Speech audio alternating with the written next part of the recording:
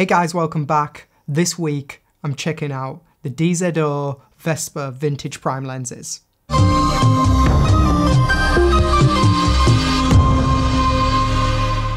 So today I'm looking at vintage Vespid DZO prime lenses. what a mouthful. I lent these from Pro AV. I don't own these lenses because they are expensive.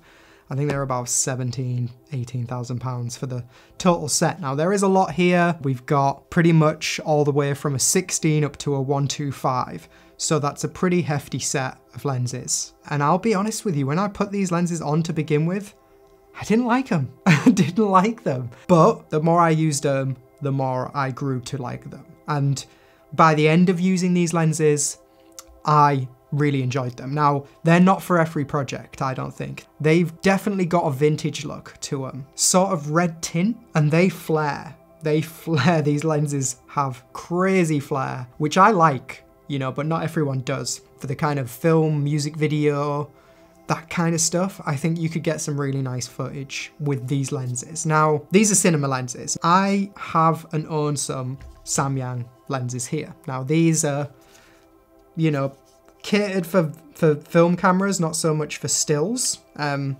and there's a few reasons why. Now, these are a lot smaller. This is the, this is the 24 mil Samyang lens that I've got here. So let's look at the equivalent, the 25 mil size difference here, slight size difference, Definitely a weight difference. Plastic, metal. These lenses are way heavier. They're robust, they're big, they're heavy, they're silver as well. Silver lenses. I love that we're getting different coloured cameras now. like every camera used to be black, now we get all these different coloured cameras.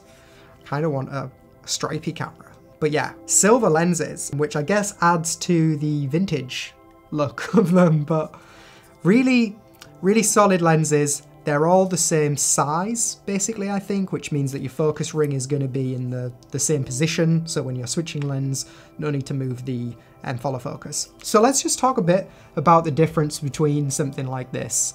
Um, like what's the main differences between a, a lens like this and a, a cinema lens? And, you know, apart from the build quality and, you know, the weight and the size, I would say a big difference is, and also the T-stop versus f-stop, which is, you know, I'm not going to get into it here. I, I learned it once. It's something to do with one's a mathematical equation and some the other one is something else.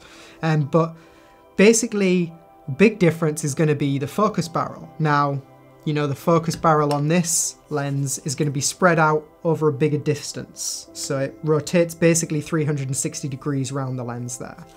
Um, I'd imagine that this one is going to be, yeah, a much, much smaller distance maybe not even halfway around the lens. Now, what difference does that make? Well, that makes it far more easy for a focus puller to pull focus. Because basically the focus is spread out over a longer distance, which means that, you know, you can really fine tune those moves in and it's going to make a more gradual, have a more gradual effect on the focus. Whereas something like this, you know, very minor tweaks are going to affect the focus a lot more, which makes it way harder for a focus puller to hit their focus marks. Some cinema lenses, I know the GL Optics Zoom um, 18 to 35 used to charge you more for the 360 versus the 180.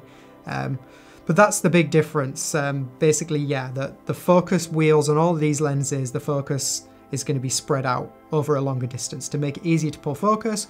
Also, you know, certain, certain stills lenses don't have these teeth for your um, this has it in both the aperture and the focus, and that's for when you've got a focus device attached to it. Now these lenses are obviously built to be used more for video, um, like an almost imitation of these lenses, but basically all cinema lenses have M focus teeth and, and aperture teeth as well, so that you can rig up a device to control that.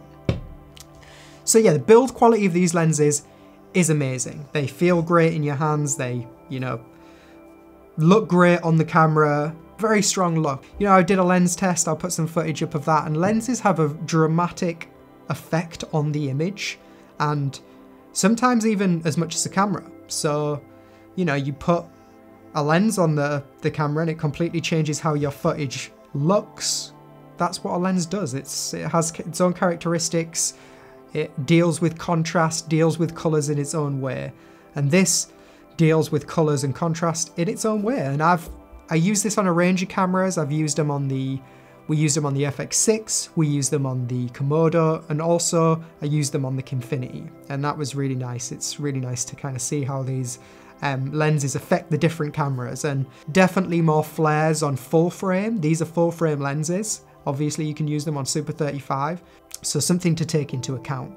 Yeah, I'm also gonna, you know, put these up against my very cheap Samyangs because I got this whole set, did buy it used, but you can get the whole set of Samyangs for about one, one and a half thousand, which is probably the same cost as just this lens here. All cinema lenses are not cheap, so it's not like these are any different, but they are expensive and definitely something that I couldn't afford.